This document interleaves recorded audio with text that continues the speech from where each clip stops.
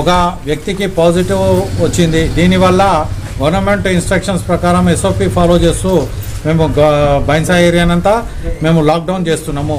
రేపటి నుంచి ఈ కిరాణా షాప్స్ ఏవి కూడా ఓపెన్ ఉండవు.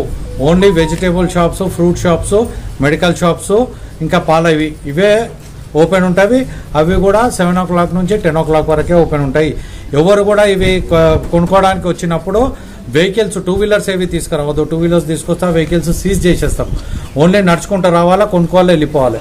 ఎవరు కూడా బయట తిరగడము చేయడము అనవసరంగా టూ వీలర్స్ మీద తిరగడము చేయడం చేయొద్దు. ఎవరైనా హాస్పిటల్ పోయేది ఉన్నా మెడికల్ షాప్ పోయేది ఉన్నా కానీ వాళ్ళు టూ వీలర్ మీద రావద్దు టూ వీలర్ ఇంట్లో పెట్టి కాలినడకన రావాలి.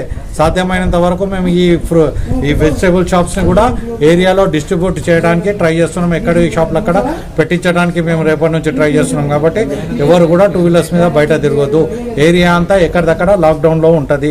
ఎవరైనా బయటకు వస్తే మాత్రము వేరే రీజన్ ఏముండదు. నేను ఒక మెడికల్ షాప్ పోయేది ఉంది అది ఉంది ఏది ఇనమో వాళ్ళ వెహికల్ సీజ్ అవుతుంది. కాబట్టి టూ వీలర్స్ మీద రావద్దు. చిన్నపిల్లలను బయట రోడ్ల మీద ఆడుకొనివ్వద్దు. ఎవరైనా ఆ విధంగా అలౌ చేస్తే కనుక వాళ్ళ పేరెంట్స్ని కూడా మేము పిలిపించి కేసు బుక్ చేస్తాం. Thank you